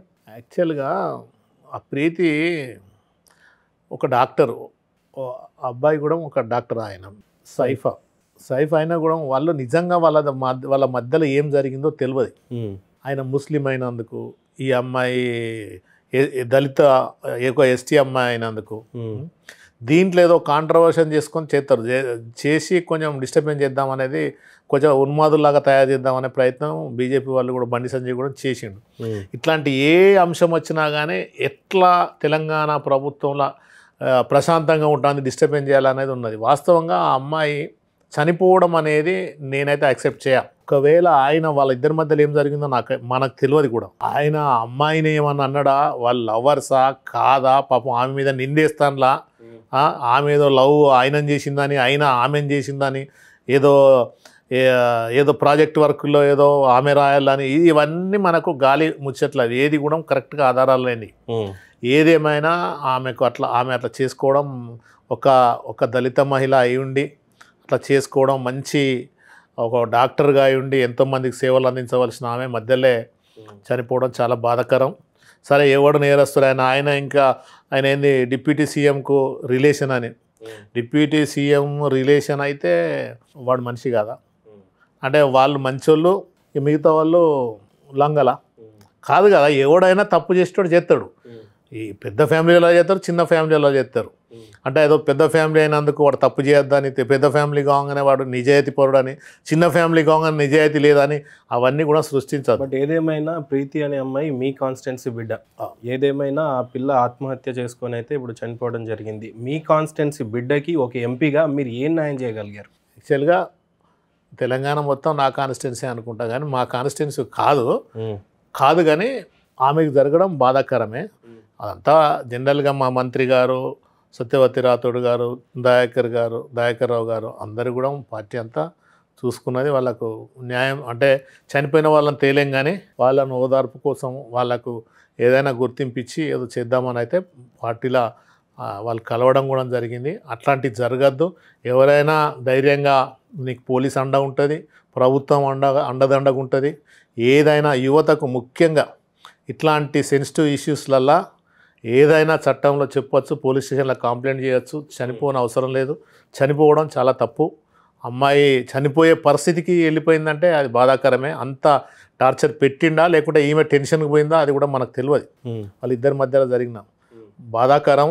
ఇది జనరల్గా ఇది ఇప్పటితో దీంతో నిజమైన నేరస్తులు అయితే ఖచ్చితంగా శిక్ష విధించక తప్పదు. ఫస్నూరి దయాకర్ మీద ప్రధానమైన ఆరోపణలు ఏమీ లేవు కానీ మీ జీవితం మొత్తంలో చెరగరాని మచ్చగా ఉన్నది ఏంటంటే ఉమ్మడి రాష్ట్రంగా ఉన్న ఆర్టీసీ ఆస్తుల భూములను ఏదైతే కేసీఆర్ గారు స్వయంగా మీకే ఫార్టీ ఇయర్స్ లీజ్ ఇచ్చారని అక్కడ మీరు ఇప్పుడు హోటల్స్ లేకపోతే మాల్స్ కట్టే ప్రయత్నం చేస్తున్నారని చెప్పేసి ఈ ఒక్క ఆరోపణ మాత్రం మీ మీద ఉంది.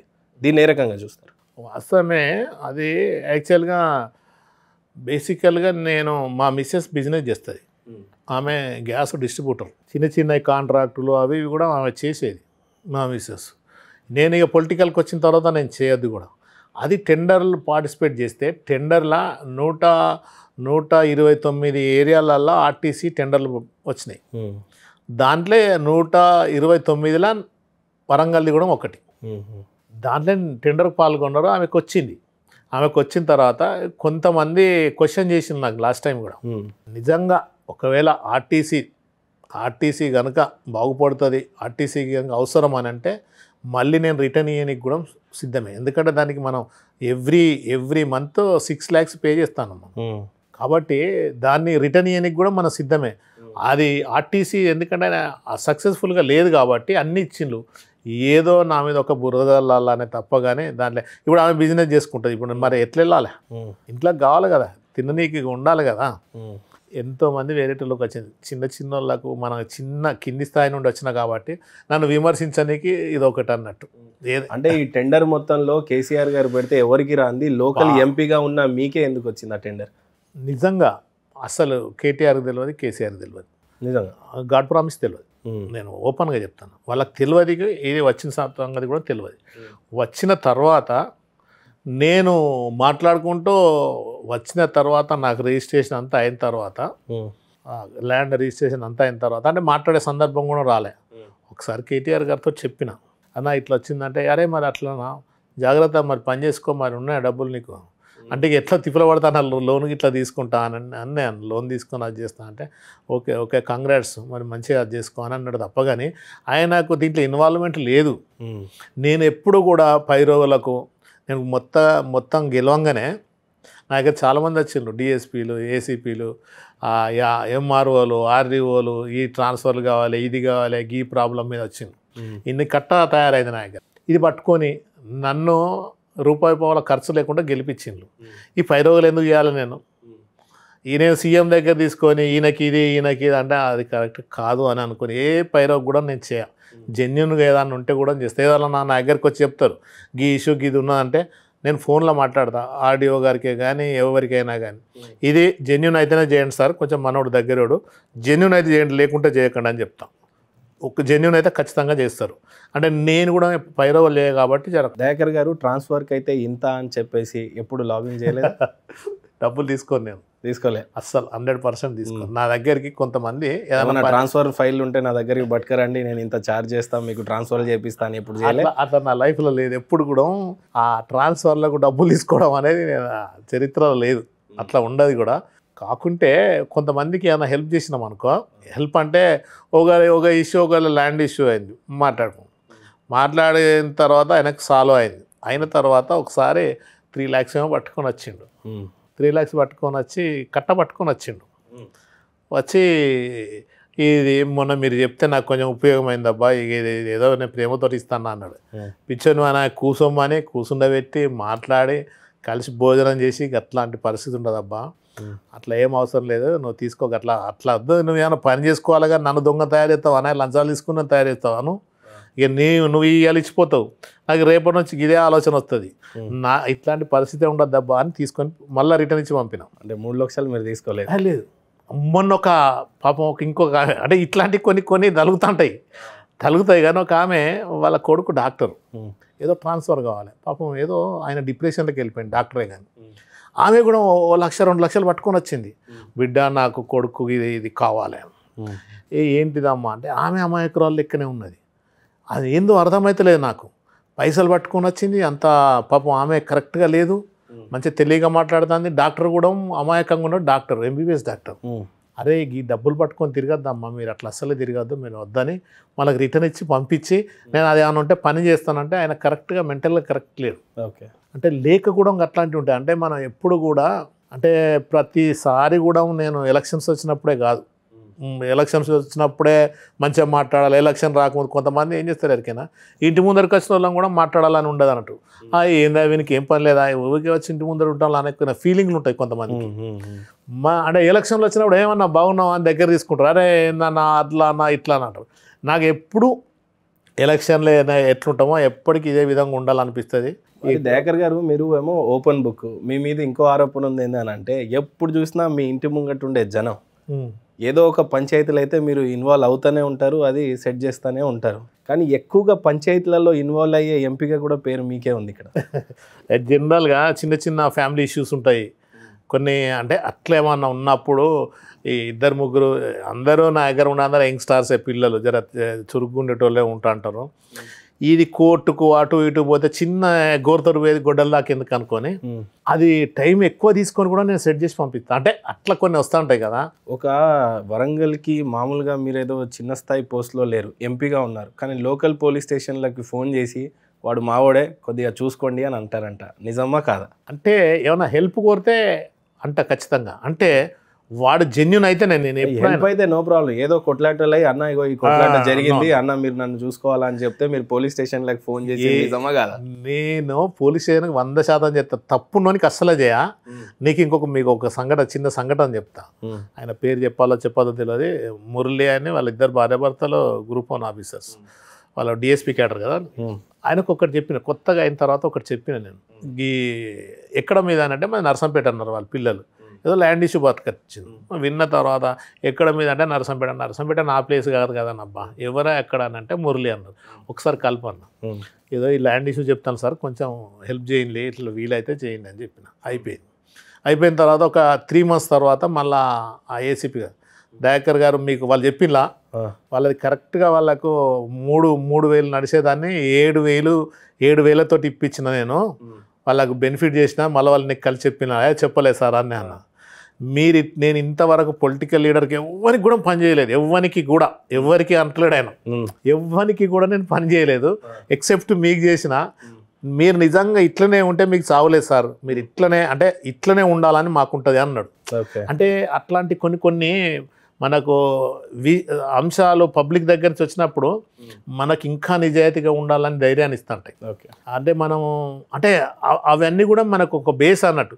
మనకు అవి ఎక్కడ దొరకాయి బుక్లో చదివినా దొరకాయి ఏం దొరకదు. అంటే అట్లాంటి మూడు నెలల తర్వాత స్పందన వచ్చింది. ఓకే. అంటే ఉంటాయి అట్లాంటి ఇక చాలామంది కూడా నా దగ్గరికి నువ్వు ఈ మాట చెప్పిన నాకు ఎంప్లాయీస్ కూడా కొంతమంది ఎట్లుంటుంది అంటే పోలీస్కే చెప్తారు. ఒక ఎమ్మెల్యే ఫోన్ చేస్తారు. ఏమాయో మా పనే చేస్తలేవేంది అని మా పనే చేస్తలేదు ఇట్లనే ఉంటుంది అన్న నువ్వు ఏమేమి ఏమేమి ఏం సీఐవే నువ్వు అని తిడతారు కొంతమంది పేర్లని కాదు. నేనేం చేస్తా? అదే సీఐకి అదే అంశం మాట్లాడిన. "ఆ సార్ కొంచెం పాసిబుల్ అయితే కొంచెం చూడండి సార్ అని అంట. కొంచెం పాసిబుల్ అయితే చూడండి జెన్యున్ అయితే చేయండి నా దగ్గరికి వచ్చిందో అంట.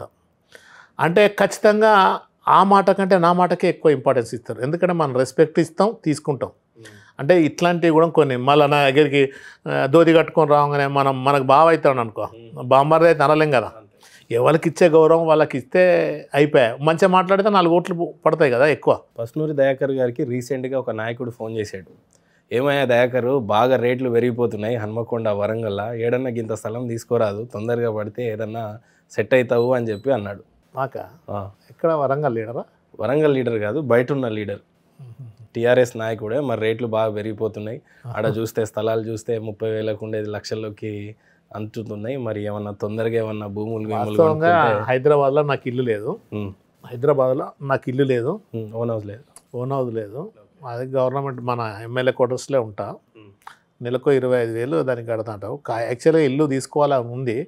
ఎప్పుడు వీలైతలేదు. అది తీసుకోవాలంటే వీలైతలేదు ఖచ్చితంగా తీసుకోవాలి. అంటర్లే కానీ మనకుండే ప్రాబ్లమ్స్ మనకు ఉంటాయి ఎప్పుడు వ్యక్తిత్వం కూడా నేను దిగదార్చుకోను. ఓకే. పేదరికం అంటే మనం జీరోలో ఉన్నా కానీ నేను జీరోలో ఉన్నట్టు కూడా నటించాను అని మనం అంటే ఎట్లా నేను బ్యాలెన్సింగ్లో ఉంటా అంట అంతే. ఎవరి దగ్గర హెల్ప్ తీసుకోవాలని కూడా నాకు ఉండదు. ఎప్పుడు కూడా నేను ఎవరిని కూడా హెల్ప్ తీసుకోలే కూడా. ఉమ్. ఏమనుంటే మా మనం ఉన్న దాంట్లోనే మెదులుతా ఉంటా కానీ నేను ఎప్పుడు అయిన తర్వాత పసునూరి దయాకర్ ఆస్తులు పెంచుకున్నాడా అంటే ఎంత పెంచుకున్నాడు? అప్పుడు ఎన్ని ఆస్తులు ఉన్నాయి? ఇప్పుడు ఎంత ఉన్నాయి అంటే ఓపెన్గా చెప్పాలంటే ఏం చెప్తారు? నేను ఏం పెంచుకోలేదు. ఒక యాక్చువల్గా నాకు అప్పుడు అది చెప్పాలో చెప్పొద్దా ఇంటర్వ్యూలో కానీ జనరల్గా నాకు అప్పుడు సీఎం గారు డెబ్బై లక్షలు ఏమో ఇచ్చిండు. అది ఖర్చు పెట్టంగా కొన్ని ఒక ఒక ఇరవై లక్షల వరకు అప్పుడు మిగిలి ఉండే. అంటే మీ పరిస్థితిని చూసి మిగిలి ఉండే. ఖర్చు పెట్టుకోబెట్టాలి ఉమ్. అప్పుడు ఓపెన్గా చెక్ ఇచ్చిండు మనకు ఇరవై లక్షలు మిగిలి ఉండే. మిగిలి ఉంటే నేను సీఎం గారి దగ్గర తీసుకొని పోయి రిటర్న్ ఇవ్వనీకి పోయితే అవి ఉంచుకో అని భుజం కొట్టి సారు గవి పార్టీకి మంచి పేరు తెచ్చినావు. ఆయా వద్దా అని మళ్ళీ రిటర్న్ ఇచ్చాను ఇక రిటర్న్ ఇస్తే నేను అది ఆయనకు మెమొర మెమొరబుల్గా నాకు ఉండాలని మా నా ల్యాండ్ పక్కకే ఒకటి ఒక ఎకరము రెండు ఎకరాలు. అది తీసుకున్నా కానీ ఇంకా వేరే ఏం లేదు నేను ఏది కూడా కొనలేదు. యాక్చువల్గా నా గ్యాస్ ఏజెన్సీ ఉంటుంది. ఒక ఆరేడు లక్షలు వస్తాయి నాకు గ్యాస్ ఏజెన్సీ. ఓపెన్గా చెప్తున్నారు మరి అంతే వాస్తవమే. నాకు ఆరేడు లక్షలు వస్తాయి. ఆరేడు లక్షలు వస్తాయి జనరల్గా శాలరీ వస్తుంది. దాంట్లో అడ్జస్ట్మెంట్ లైఫ్ అంతే ఇక నడుస్తూ ఉంటుంది అంతే. అంటే ఎంపిక అయిన తర్వాత కూడా ఒక మిడిల్ క్లాస్ లైఫే లీడ్ హండ్రెడ్ పర్సెంట్ నేను అట్లనే. అంటే మిడిల్ క్లాస్ అంటే మనం ఎవరి మీద పెత్తనం చేస్తాం? అదంతా అది కాదు కదా. ఇది మనది జీవితం పొలిటికల్ జీవితం అంతా ఎట్లుంటుందంటే ఎప్పటికీ ఎగ్జామ్స్ ఉంటూనే ఉంటాయి ఐదు సంవత్సరాలకు ఒకసారి. మళ్ళీ ఐదు సంవత్సరాలకు ఎగ్జామ్ రాయాలి. ఇప్పుడు ఒక్కసారి ఎవరైనా గవర్నమెంట్ ఉద్యోగస్తుడు నౌకరు చేసిందంటే వాడు నలభై ఏళ్ళ దాకా చేస్తాడు. అంతేనా ఇంకా ఆయన పేపర్ దిద్దేది ఎవరు? ఒక్కడే దిద్దుతాడు. మీ పేపర్ ఎవరి ఐదు సంవత్సరాలకి అద్దరు ఐదు సంవత్సరాలకు ప్రజలు. ఒకసారి ఉండాలి. మినిమము ఎనిమిది తొమ్మిది లక్షల మంది దిద్దాలి మన పేపర్. వాళ్ళది ఒక్కటే ఒక్కడే దిద్దుతాడు పేపర్. ఒక పేపర్ దిద్దాగానే నలభై సంవత్సరాలు పనిచేస్తుంటారు వాళ్ళు. ఇక ప్రభుత్వానికి అల్లుని లెక్క. ఇక చెప్తారా? పని చేస్తా అంటారు వా- అంటే మనదేమో ఎప్పటికీ అదే కదా. కాబట్టి ఐదు మన సంవత్సరాలకి మీకు పేపర్లు వస్తూనే ఉంటాయి ప్రజలు దిద్దుతానే ఉండాలా? అంతే. అట్లా ఉంటుంది. ఇవన్నీ కూడా జనరల్గా సబ్జెక్ట్ ఏదేమైనా ప్రజల నుంచి అయితే మంచి మార్కులు తెప్పించుకున్న నేతకైతే మీకు పేరుంది. దాంట్లో అసలు నో డౌట్ మరి మీ పేపర్ని ప్రతిసారి ప్రజలు బాగానే దిద్దుతున్నారు బాగానే మార్కులు పడుతున్నాయి. అలా జనరల్గా నేను నాకు నేను ఏం చేయలేకపోతున్నా అనేది బాగుంటుంది నాకు. ఏం చేయలేకపోతున్నా అని ఉంటుంది. అంటే బేసికల్గా చూసుకుంటే నాకే ఇట్లున్నదంటే ఎప్పుడు డెబ్బై డెబ్బై డెబ్బై ఐదు సంవత్సరాల స్వతంత్ర భారతంలో చేయని పనులు తెలంగాణ ప్రభుత్వం వచ్చిన తర్వాత ఎన్నో పనులు సక్సెస్ అయినాం. దాంట్లో నేను భాగస్వామిని అయినందుకు చాలా ముఖ్యమంత్రి వెంట నేను ఉన్నందుకు ఇన్ని డెవలప్మెంట్లు అయినందుకు చాలా సంతోషం. అంటే మరీ సన్నిహితంగా ఉన్న కేటీఆర్ వర్సెస్ హరీష్ రావు ఎన్నికలు జరిగినాయి యాక్చువల్లీ మీ విషయంలోనే అది. బహిరంగ సభలో కేటీఆర్ గారు చేసిన సవాల్ ఏంటంటే ఈసారి పార్లమెంట్లో హయ్యెస్ట్ మెజారిటీ వచ్చేది వరంగల్ నుండే అని మీ మీద నమ్మకంతో చెప్పాడు. బట్ ప్రయత్నాలు ఎన్ని చేసినా హరీష్ రావు గారు మాత్రం సెకండ్ రావడం జరిగింది. కేటీఆర్ని మాత్రం మీరు నిజంగానే ఫస్ట్ ర్యాంక్లో తీసుకురావడం జరిగింది. ఎలా జరిగింది అసలు ఇదంతా? యాక్చువల్గా ఏదో ప్రెస్ వాళ్ళు మీడియా అట్లా చేస్తూ అంటారు. మీడియా చేస్తూ అంటారు ఏదేమైనా అంతిమంగా పార్టీ పార్టీ లైన్ పార్టీ కార్యకర్తలు ఇప్పుడు నీకు ఎంపీ గెలవడం ఈజీ. పార్టీ లైన్ మీద గెలుస్తాం మనం. ఒక సర్పంచ్గా గెలవాలని అంటే చాలా ప్రాబ్లమ్స్ ఉంటాయి. ఒక వార్డు మెంబర్గా ఇంకా ఉంటుంది. వాడు మన కులపోడా వాడు మన ఏరియాడా ఓటు ఓటు కూడా చాలా ఇబ్బంది ఉంటుంది. అది ఆ గ్రామ స్థాయిలో కష్టపడేటోళ్ళు గ్రేట్. మనం ఏమున్నది అంత జనాన్ని ఆర్గనైజ్ చేస్తే మనం పోయి దండం పెట్టుకొని నాలుగు ముచ్చట్లు మాట్లాడి వెళ్ళిపోతాం. కానీ గ్రౌండ్ వర్క్లో చేసే వాళ్ళదే విజయం ఇదంతా. మనం ఏముంటుంది? ఓ ఆ పబ్లిక్ మీటింగ్ కూడా యాభై లక్షల మందిని యాభై వేల మందిని తీసుకురావాలి యాభై వేల మందిని తీసుకొని వస్తారు. ఆడపోతారు ఆ కష్టపడ్డోళ్ళది ఉంటుంది. మనది ఏముంటుంది. పార్టీ లైను అది అంతే తప్ప కానీ జనరల్గా నేను అనుకుంటా నేను మంచి చేసే అంత గొప్పని కాకపోవచ్చు కానీ చెడైతే చేయొద్దు అనేది ఉంటుంది నా లోపల. నాకు ఆ శక్తి కనుక భగవంతుడు ఇస్తే నేను చేత్తకోవచ్చు. అంటే ఆ శక్తి లేదు కేంద్ర ప్రభుత్వం ఉత్తదే గదే ఏం చేసినా నియోజకవర్గానికి ఊరికొక నలభై యాభై వేలు ఇస్తే ఏం డెవలప్ అవుతుంది? క్యాల్కులేషన్ చేసుకుంటే అంతే కదా. పసునూరి దయాకర్ గారు ఫైనల్గా వరంగల్ ప్రజలకి మిమ్మల్ని ఓటేసి గెలిపించిన మీ కాన్స్టిట్యున్సీ ప్రజలకి ఏమైనా చెప్పాలి అని అనుకుంటే ఏం చెప్తారు? వాస్తవంగా అంటే అనుకున్నంత నేను చేయలేదనే ఒప్పుకుంటా. ఎందుకంటే కేంద్రంలో మన పార్టీ లేదు కేంద్రం నుంచి వచ్చినాయి లేవు. మరి అట్లా చెప్తే ప్రజలు బాధపడరా? దాదాపు నిజాలు చెప్పుకోవాలి కదా ప్రజలకు. మనకు నిజాలు చెప్పుకోవాలి. ఖచ్చితంగా వాళ్ళ లోపల ఫ్రాంప్ట్గానే ఉండాలి. మన మన మనకెంత నాలెడ్జ్ ఉంటుందో వాళ్ళకి కూడా అంతే ఉంటుంది. రేపు మరి కేసీఆర్ ఇంటర్వ్యూ చూసిన తర్వాత అరే మనం చేసినాం కదా దయాకర్ ఎందుకు అట్లా అన్నావు అని అంటే ఏం చెప్తారు? లేదు లేదు. కేంద్ర ప్రభుత్వం అది నేను అనేది. కేంద్ర ప్రభుత్వం మన ఎంపీగా ఉండి చేసిన దానికంటే మన స్టేట్ గవర్నమెంట్ చేసిన దాంతో ఈ తెలంగాణ స్టేట్ మొత్తం సస్యశ్యామలం అయిపోయింది. అయిపోయింది. ఇంకా మనము ఇది ఇంకా పరుగులతోటే ఉన్నాం మనం ఎందుకంటే దే మనం ఇక్కడ కాదు ఇప్పుడు వాస్తవంగా ఇప్పుడు ముఖ్యమంత్రి గారు బీఆర్ఎస్ స్టార్ట్ చేయడం చాలా సంతోషం ఎందుకంటే ఇక్కడ చేసే పని కూడా. నేను అనుకుంటానా చేయవలసిన అన్ని స్కీమ్సే కానీ అన్ని కుంటలు చెరువులు పూడిక తీసి రైతాంగాన్ని అందరిని ఆదుకొని కుల సంఘాలను ఆల్ క్యాస్ట్లను అందరికి ఇచ్చే ప్రాధాన్యత ఇచ్చుకుంటూ దేశంకి ఇవ్వాలనే ఆలోచనతోటి ముఖ్యమంత్రి గారు పోవడం అనేది బీఆర్ఎస్ స్టార్ట్ చేయడం చాలా సంతోషం. నిజంగా మనకంటే మనం మన తెలంగాణ రాష్ట్రాన్ని వేరే రాష్ట్రాలు ఆదర్శం తీసుకుంటున్నాయి. పనిచేసే ముఖ్యమంత్రి అంటే నంబర్ వన్ ముఖ్యమంత్రి కేసీఆర్. అనేది దేశంలోనే ఉంది ఇప్పుడు. మరి కేసీఆర్ గారు ఆ రోజున గజ్జగట్టి గలం విప్పిన కళాకారులను చూసుకోలేదు అని అంటున్నారు. రెండవది ఉద్యమకారులను పట్టించుకోవట్లేదు అని అంటున్నారు. మరీ ముఖ్యంగా చెప్పాలి అని అంటే ఉద్యమంలో పోరాడి చచ్చిపోయిన వాళ్ళ గురించి అయితే అసలే పట్టించుకోలేదు వాళ్ళ తల్లిదండ్రుల గురించి అంటున్నారు. సో ఒక దళిత బిడ్డగా మీరేం చెప్తారు అని అంటే ఏం చెప్తారు? నాకు కొన్ని సందర్భం మీరు చెప్పింది అట్లా చాలామంది అంటారు. అనేది ఎవరంటే బీజేపీలు కాంగ్రెస్ వాళ్ళు పట్టించుకోలేదు అంటారు. ఇప్పుడు కొంతమంది ఒక ప్రాంతయాగం చేసిన తల్లిదండ్రులు ఉన్నారు. వాళ్ళకి ఇవ్వమని అని కొంతమంది పేర్లు చెప్తా అంటారు టీఆర్ఎస్ పార్టీ ఇవ్వలేదు అనుకో. మరి మీరు ఇవ్వచ్చు కదా?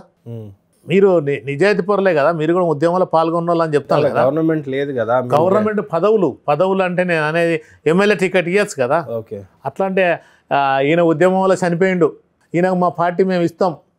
ఆ డబ్బులు ఖర్చు పెడతాం. మేమే చూసుకుంటామని ఇవ్వచ్చు కదా? ఒక్కరికన్నా ఇచ్చిన మరి వాళ్ళు? వీళ్ళు ఏదో సీఎం మీద ఏదో అది చేయడం కోసమే తప్ప కానీ ఆ బాధ్యత అంతా కేసీఆర్ గారి మీద ఎందుకంటే పోరాడి సాధించిన తెలంగాణలో ఆయన ముఖ్యమంత్రిగా ఉన్నారు. ఒక పోని ఒక మోడీ గారు దేశ ప్రధాని గుర్తించి ఆ పార్టీ గుర్తించి ఒకరికి చేయాలి అని అంటే బహుశా సాధ్యపడదేమో. ఇప్పుడు తెలంగాణ ఉద్యమంలో గజ్జె కట్టుకొని తిరిగి ఉద్యమం పాటలు పాడి దాని ద్వారా వాళ్ళ కృషి కూడా కళాకారుల కృషి చాలా కూడా ఉంది. వాళ్ళని ఉత్తగా గాలికి వదిలిపెట్టలేదు. ముఖ్యమంత్రి కాగానే కం అందరికీ కూడా దాదాపు ఐదు వందల యాభై మందికో ఏమో అందరికీ ఉద్యోగాలు కల్పించు. రోడ్ల మీద పడొద్దు. తెలంగాణ సాధించడంలో వీళ్ళు కూడా కీలకం. వాళ్ళకి దాదాపు ట్వంటీ ఫైవ్ థౌజండ్ ఏమో మంత్లీ మంత్లీ శాలరీ కూడా వస్తుంది. అందరికీ ఏదో ఒక ఉపాధి కల్పిస్తాను. అంటే బేసుగా గి వీళ్ళకే కలిపియాలని ఏం లేదు. పాటలు పాడి గజ్జగట్టి పాటలు పాడిన వాళ్ళు ఉన్నారు మొత్తము కమిట్మెంట్ అయి పని చేసి జైలుకు పోయిన వాళ్ళు కూడా ఉన్నారు. అంటే ఇంకా ఇంకా వాళ్ళకంటే ఎక్కువ నష్టపోయిన వీళ్ళు. ఒక కల్చరల్ ప్రోగ్రామ్ చేయాలంటే దానికి స్టే చేసి మైక్ పెట్టి పైసలు ఖర్చు పెట్టి చేసినోడు ఒకడు ఉంటాడు. వాడు పైసలు ఖర్చు పెట్టిన మనకు ఉద్యోగం రాలే. చెప్తాను అంటే కొంతమంది త్యాగాలు ఇట్లా అయినాయి. మన పార్టీలో త్యాగాలు అయినాయి. అంటే వాళ్ళని ఆదుకోలేదు అనడం అనేది తప్పది. అందరినీ కూడా ఆదుకుంటాడు. అందరి అందరినీ శ్రేయస్ కోరుకుంటాడు. తప్ప కానీ కొంతమంది అట్లా అంటా అంటారు మరి ప్రజలంతా తెలంగాణ సాధన బంగారు తెలంగాణ సాధ్యమే అవ్వలేదు. ఇంక ఇప్పుడే టీఆర్ఎస్ని తీసేసి బీఆర్ఎస్గా పెట్టిండు. ఇది ఖచ్చితంగా వైఫల్యం చెందే ప్రక్రియనే అని చెప్పి అనే పరిస్థితి. కేసీఆర్కి ఇప్పుడు చాలామంది ప్రజలు లేదా నాయకులు చెప్తున్నటువంటిది ఏంటంటే బీఆర్ఎస్ ఓన్లీ తెలంగాణ వరకే ఉంటుంది. కానీ కేంద్రంలో నిజంగానే సస్టైన్ అవ్వాలి అని అంటే అవ్వదు అని అంటున్నారు. బంగారు తెలంగాణ అంటే ఏంటిది అసలు? అరే మొత్తం బంగారం అవుతుందా? మన దగ్గర జనరల్గా ఇప్పుడు ఒక ఒక ఎంప్లాయీ ఇప్పుడు మన దగ్గరికే ఓ ప్లంబరే కానీ ఒక పెయింటరే కానీ ఒక సీలింగ్ చేసేటోళ్ళే కానీ వేరే స్టేట్ దగ్గర నుంచి వచ్చి మన దగ్గర పని చేసుకుంటాను వాళ్ళు. వాళ్ళకు వాళ్ళకి ఎంత కూలి అంటే నాలుగు వందల యాభై స్కిల్డ్ అయితే ఐదు వందల యాభై ఉంది. ఇదే మన దగ్గర ఉన్న లేబర్కు నీకు థౌజండ్ రూపీస్ తీసుకుంటాను. వానికి ఐదు వందలు లెక్కే లేదు మన దగ్గరలో. ఐదు వందలకు పనే చేయడు చెప్తున్నా. అంటే వానికి ఐదు వందలు కూడా కౌంట్ లేదు మనం ఓపెన్గా మనం మాట్లాడుకుందాం. వాడు తిండి లేక చచ్చిపోతాడు వాడు మూడు వందల మూడు వందల యాభై కోసం స్టేట్లు దాటేసి వచ్చి పనిచేస్తాడు మన దగ్గర వెయ్యి రూపాయలు ఇచ్చినా కానీ పనిచేసే పరిస్థితి లేదు. మీకు అంటే ఇది నిజాలు మనం. సరే నేను అది మాట్లాడాలో మాట్లాడదో నాకు తెలియదు కానీ వందకు వంద శాతం మీరు కరెక్ట్. నీకు కరెక్ట్గా మన దగ్గర తిండికి ఇబ్బంది అయ్యేటోళ్ళు లేరు ఇప్పుడున్న పరిస్థితులలో. ఎంప్లాయ్మెంట్కి ఇబ్బంది అనే వాళ్ళు లేరు. కావాల్సినంత పని ఉంది. చేసుకునేంత పని ఉన్నది. నేనైతే అనుకుంటున్నా. కానీ వేరే స్టేట్ వాళ్ళే మన దగ్గర పని చేస్తా అంటే మనకి ఎందుకు అది ఉన్నది అట్లా ఏం లేదు. బంగారు తెలంగాణ అంటే అయినట్టే. ఇప్పుడు ఈరోజు ఈరోజు ధాన్యం పండించడంలో మన దేశంలోనే మొట్టమొదటి రాష్ట్రం మనది. దేశానికే తిండి పెట్టే పరిస్థితిలో మనం ఉన్నామంటే బంగారు తెలంగాణ అయినట్టే కదా. సో ఏదేమైనా ఫైనల్గా స్ట్రైట్గా చెప్పాలా వరంగల్ ప్రజలకి అని అంటే ఒక ఎంపీగా ఏం చెప్తారు? ఎంపీగా నాకు రెండు సార్లు కూడా అత్యధిక మెజార్టీతోటి నన్ను గెలిపించిండ్రు. వాళ్ళు గెలిపించినంత గెలిపించినప్పుడు చాలా సంతోషపడ్డా ఇప్పటికి కూడా సంతోషపడుతున్నా. కానీ అంత చేసే పెద్దగా ఎంపీగా అనుకున్నవన్నీ కొన్ని చేయలేకపోయినా. ఈ టెక్స్టైల్ పార్క్ ఉంది. దానికి కేంద్రం నుంచి ఒక్క రూపాయి కూడా నేను తీసుకురాలేకపోయినా. టెక్స్టైల్ పార్కే కానీ లేకుంటే ఈ కోచ్ ఫ్యాక్టరీ కానీ ఆ కోచ్ ఫ్యాక్టరీ నేను చిన్నతనం నుండి కూడా కోచ్ ఫ్యాక్టరీ కోచ్ ఫ్యాక్టరీ అన్నాడు. ఇది ఆ, విభజన చట్టంలో పొందపరిచి దాన్ని కోచ్ ఫ్యాక్టరీ కూడా కేంద్రం తీసుకురాలేకపోయింది. బయ్యారం బొగ్గు గనులు. అది కూడా ఇండస్ట్రీ అదేంటి స్టార్ట్ చేస్తానన్నారు. ఆ బొగ్గు అదే బయ్యారంది అది అట్లనే పెండింగ్ ఉంది. గిరిజన యూనివర్సిటీ అని ఉన్నది. గిరిజన యూనివర్సిటీకి దిక్కి దిక్కే లేదు. ఏబిసిడి వర్గీకరణ చేస్తామని ఇక్కడ ఇక్కడ స్టేట్ గవర్నమెంట్ ఏబిసిడి వర్గీకరణ కావాలి అని ఇక్కడ అసెంబ్లీలో తీర్మానం చేసి మా ముఖ్యమంత్రి గారు చేసిన వెన్ చేసి అధికారంలోకి వచ్చిన తర్వాత చేసి పంపితే ఇప్పటికి కూడా మా రిజర్వేషన్ వర్గీకరణ కూడా జరగలేదు. అది గిరిజనులకు కూడా పర్సంటేజ్ పెంచాలి అని తీర్మానం చేసి ఇక్- ఇక్కడ స్టేట్ గవర్నమెంట్ చేసింది. దాని విషయం కూడా మేము స్పందించలేదు. ఏది కూడా కేంద్ర ప్రభుత్వం వీటి మీద ప్రజల సమస్యల మీద ప్రజల ఆకాంక్ష మీద ఏది కూడా స్పందించలేదు. అది చాలా విఫలమైనట్టే. రాబోయే కాలంలో బీఆర్ఎస్ పార్టీది కీలకంగా కేంద్రంలో ఉండాలి. కీలకంగా ఉంటేనే ఈ వీళ్ళేంది ఒంటెద్దు పోకట పోయే బీజేపీ ప్రభుత్వానికి చిన్న చిన్న రాష్ట్రాలన్నీ కూడా ఏకమవుతున్నాయి. అందరూ కావాలి. కేంద్రంలో ఉన్న వృధాగా పోయే నీళ్ళను వృధాగా పోయే నది జలాలను అది మన వ్యవసాయదారులకు అందించాలి. ప్రాజెక్టులు మనలాగా మన కాళేశ్వరం ప్రాజెక్ట్ అయితే ఏ విధంగానైతే కట్టుకొని వృధాగా పోయే నీళ్ళని ఎప్పుడైనా పైనుండి కిందికి పోతాయనేది విన్నాం మనం. కానీ చరిత్రలో తిరగరాసి ముఖ్యమంత్రి కిందున్న నీళ్ళని పైకి పంపించి మళ్ళీ పంట చెలాలకు తెలంగాణ రాష్ట్రాన్ని మొత్తం సస్యశ్యామలం చేస్తాడు. ఇట్లా దేశమంతా కూడా సస్యశ్యామలంగా ఉండాలి. భారతదేశం భారతదేశం ప్రపంచంలోనే ఒక బాగా అభివృద్ధి చెందిన రాష్ట్ర దేశంగా ఉండాలని నేను కోరుకుంటున్నాను ఏదేమైనా దయాకర్ గారు మిమ్మల్ని ఇంటర్వ్యూ చేసిన తర్వాత మీకున్న ఆశలు ఆశయాలు మీ ప్రజల కోసం ఉన్న మీ అభిమానం అండ్ ఫ్యూచర్లో వాళ్ళని డెవలప్మెంట్ చేయాలని ఏదైతే మీరు ఆకాంక్షిస్తున్నారో ఖచ్చితంగా అవన్నీ సిద్ధించాలని మనస్ఫూర్తిగా కోరుకుంటూ తిరిగి మళ్ళీ మీరు పార్లమెంట్లో పెట్టినా సరే అసెంబ్లీలో అడుగుపెట్టినా సరే తిరిగి ఆ రోజు ఖచ్చితంగా కలవాలని ఆశిస్తూ thank you so much. And ఇంటర్వ్యూలో ఫైనల్గా జై జవాన్ జై కిసాన్ అని మీరు మూడు సార్లు అంటే నా క్లో నా ఇంటర్వ్యూ క్లోజ్ అవుతుంది. So please. జై జవాన్ జై కిసాన్. జై జవాన్ జై కిసాన్. జై జై జవాన్ జై. కిసాన్. జై హింద్. జై హింద్.